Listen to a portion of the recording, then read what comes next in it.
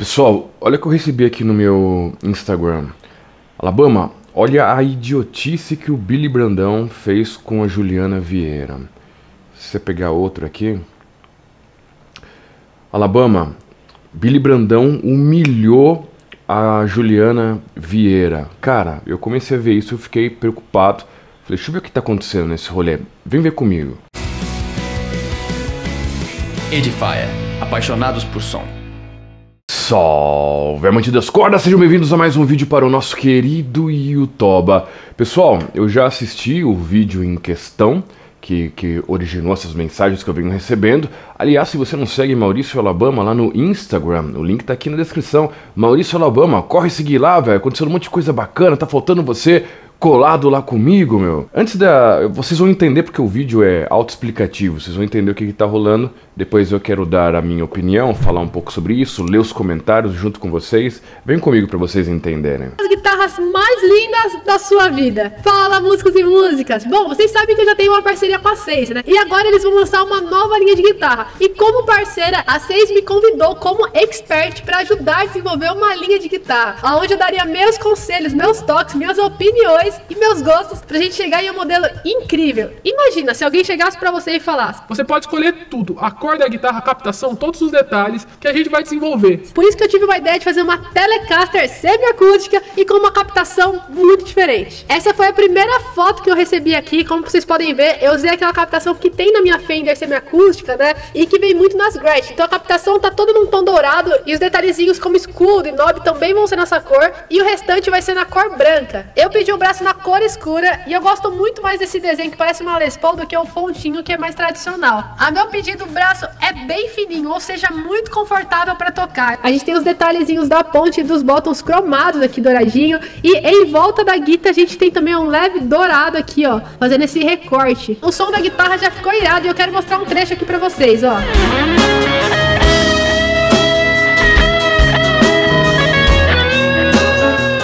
Olha, Ju, você tá de parabéns. Aliás, você e o pessoal da Seise. Vocês estão de parabéns. Parabéns pelo seu bom gosto. A sua guitarra é linda. Bom, é isso aí. Esse vídeo acabou tendo essa polêmica toda porque a atitude do Billy pareceu ser um tanto quanto irônica quando ele chamou a guitarra de parabéns, sua guitarra é linda, porque a guitarra dela ficou parecida com a do Billy Brandão, né?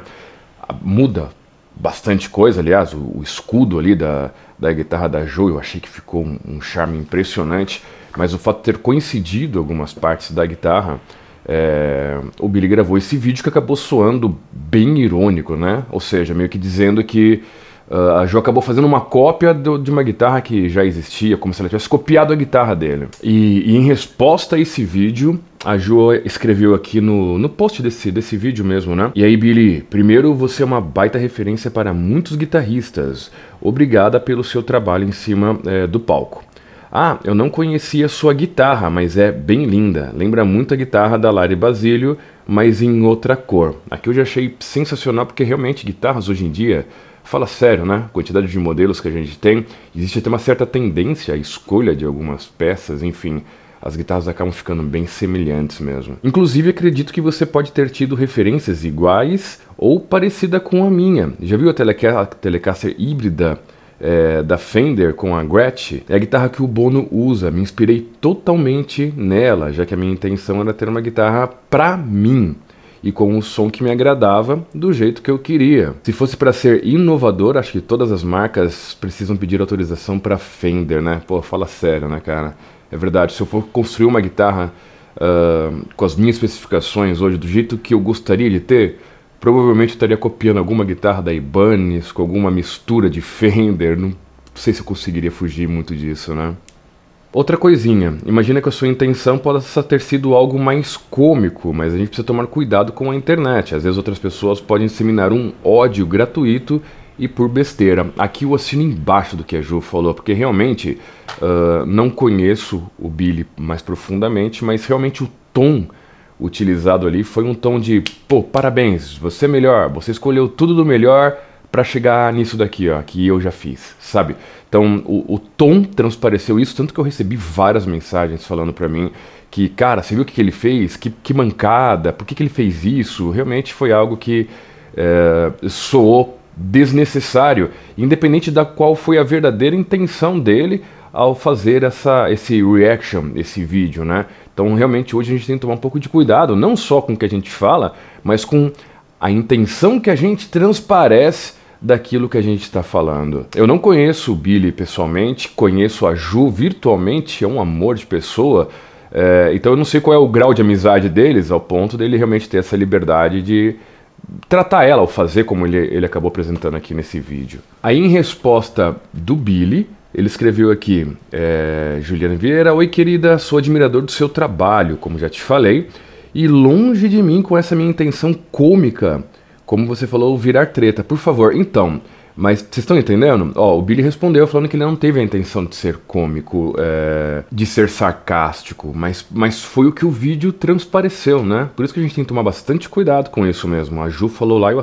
putz, assino embaixo pra caramba disso. Acho mesmo que todas as, as inspirações estão é, todas aí pelo ar. Eu mesmo, depois de fazer a minha, em 2014, ressaltou a data para mostrar que a dele veio primeiro, descobri esse modelo da Fender. Aí ele falou que ele vai até fixar o comentário dela lá tal. Você tem um público gigante que te acompanha, eu também acompanho, tanto que seu vídeo apareceu direto, aparece direto para mim no YouTube e tal.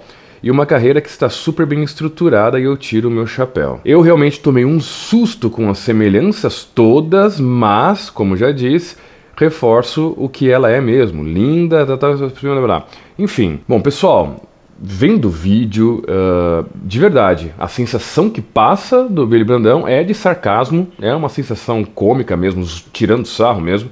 Essa é a sensação que passa o vídeo e, eh, e essa sensação indifere da real intenção do, do Billy para com a, a, Juliana, né? Então, realmente, essas mensagens que a galera tá mandando é pela sensação que você vê no vídeo, cara. Realmente parece que ele tá tirando uma onda, ele tá tirando um sarro, falando, ó, oh, parabéns tudo que você desenvolveu eu já fiz em 2014. Mas eu tô curioso para saber a sua opinião vendo esse vídeo. Você que acompanha aí de perto a Juliana, você que acompanha de perto o Billy, é, não sei se vocês sabem dessa interação, realmente eles são tão próximos assim, ao ponto dele fazer um tipo de brincadeira com a construção que ela está tendo agora da guitarra.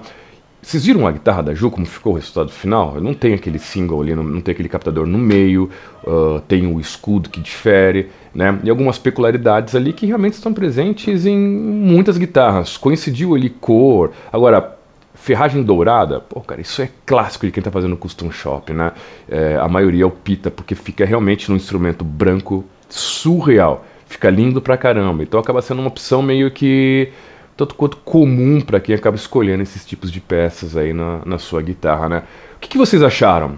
Foi realmente com, com má intenção? Não sei se eu também diria má intenção, mas teve sim essa veia de sarcasmo aí que, não sei, soou um pouco esquisito, por isso que as pessoas mandaram é, mensagem para mim lá no Instagram.